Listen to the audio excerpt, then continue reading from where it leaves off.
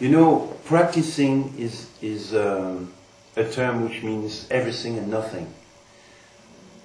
I think uh, what is important for me is to have a, a, a familiar access to my guitar and a familiar uh, relationship with my guitar.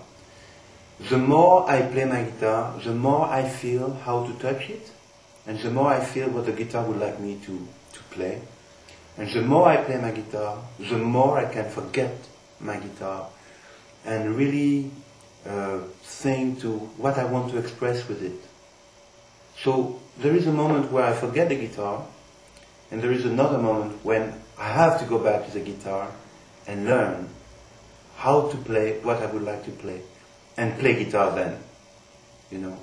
But I do think sometimes to also work my technique, instance my right hand. I'm very, very inspired by classical guitar technique and by flamenco techniques where you rest your thumb like this, you rest your fingers like this, and then you start.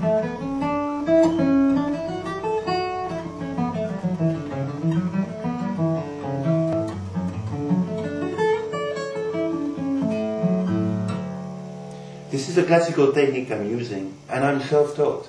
So what I mean is that even if you are self-taught, there is a way, there is a moment when all the roads cross each other, and you go back to, you know, the, the best way to, to approach the instrument. But there is not only one way. The guitar is a very, very infinite instrument. It's available for all kinds of techniques it depends what you want to do with it and what is it, what what is that your intuition is telling you. Um, because I play in, in this alternative tuning called DADGAD, D, A, D, G, A, D. This has um, influenced my playing a lot. At the beginning anyway, I played a lot of very drowned music like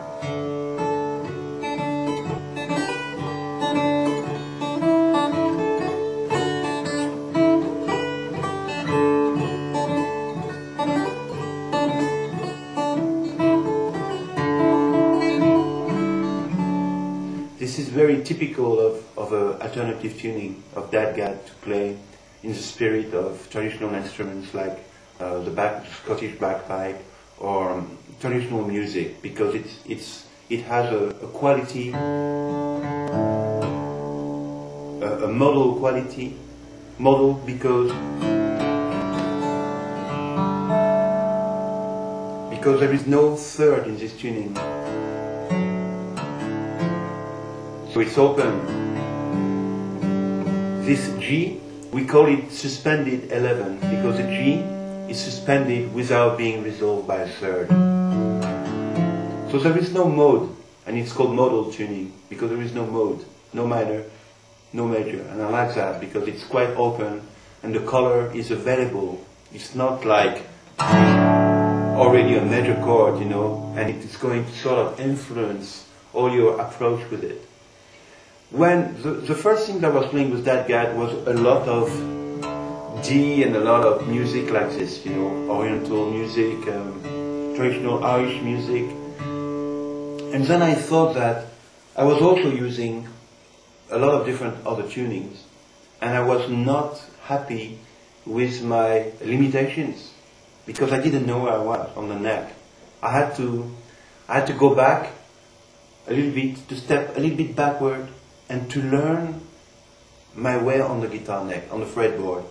So I chose to, I chose only one tuning, and I thought, okay, let's take one tuning and let's learn to play the guitar again. So I choose DADGAD and learn the chords. This is a G major for us. So you know, as soon as you start playing chords, you are no longer in DADGAD. You know, you, you have to make DADGAD discreet. guy is not playing the music. You are playing the music.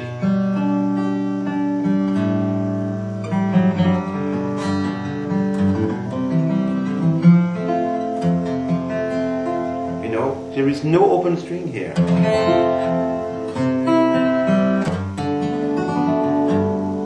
This is a major seventh. with a ninth. Augmented fifth. You know? So as soon as you start looking into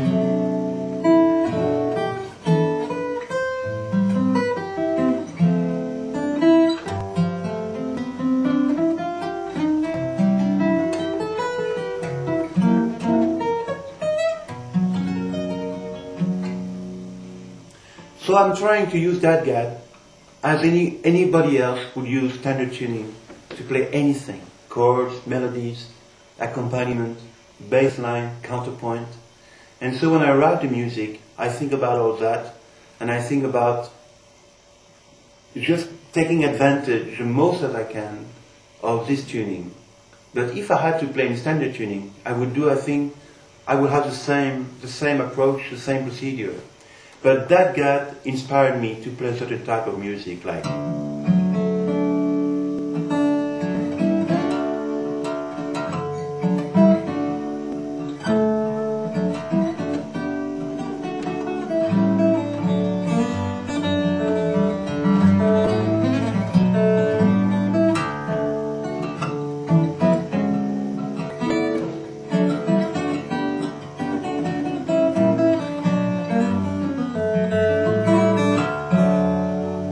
That's very DADGAD, that's very, you know, inspired by, by his tuning. But the chord, a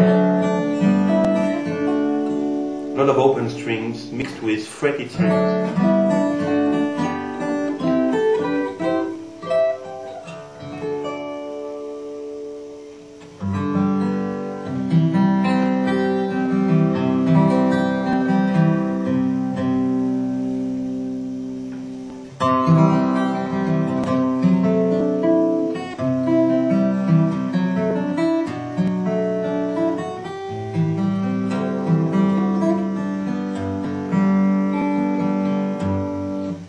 My practicing as well, that I, I try to play in the spirit of the piano, of a keyboard, where everything is very fluid and very liquid. Like instead of attacking every note, I'm going to try to, to have some note to ring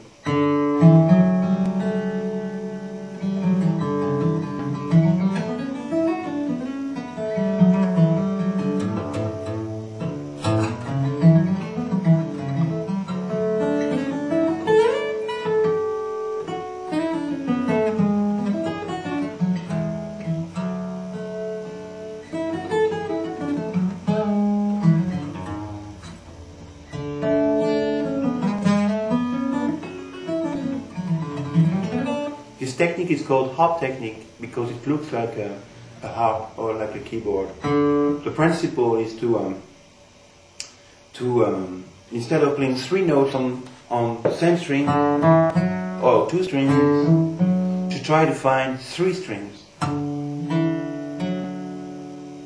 And adapt your fingering so that you hear three notes. And you let them ring four notes, five notes. Okay? That's the principle.